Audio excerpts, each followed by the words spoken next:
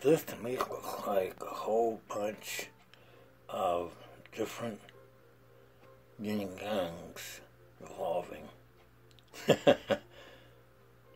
all together, but more than one yin yang, even within a yin yang.